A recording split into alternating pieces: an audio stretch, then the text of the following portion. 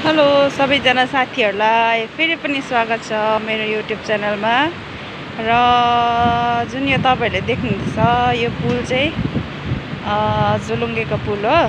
झोलुङ्गे हेर्नुहोस् न यस्तो लामो छ है। तपाईँहरूले देख्न सक्नुहुन्छ टिस्टा खोला।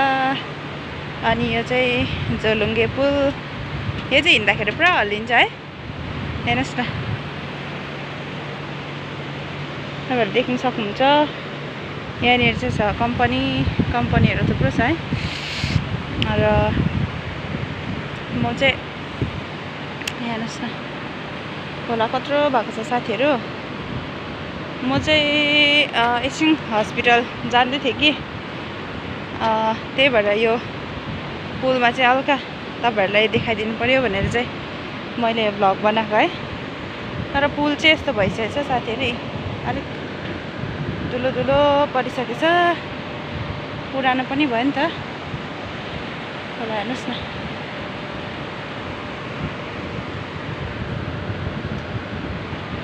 साथीहरू मेरो च्यानललाई चाहिँ तपाईँहरूले प्रेम गरिदिनु भएको लागि धन्यवाद।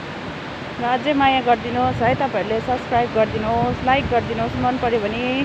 अनि सब्सक्राइब गरेर चाहिँ बेल आइकनमा क्लिक गरेर अलमा क्लिक गरिदिनुहोस् है साथीहरू। त्यस्तो गर्नाले चाहिँ मैले जति पनि भिडियोहरू बनाउँछु त्यो चाहिँ तपाईँहरूको तपाईँहरूले अगाडि नै नोटिफिकेसनमा आइसकेको हुन्छ है।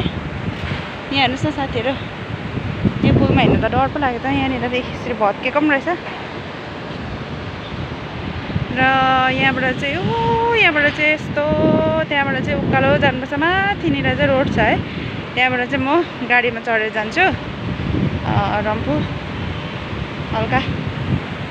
साथीहरूलाई यहाँनिरको यो भ्लग देखाइदिनु पऱ्यो भनेर।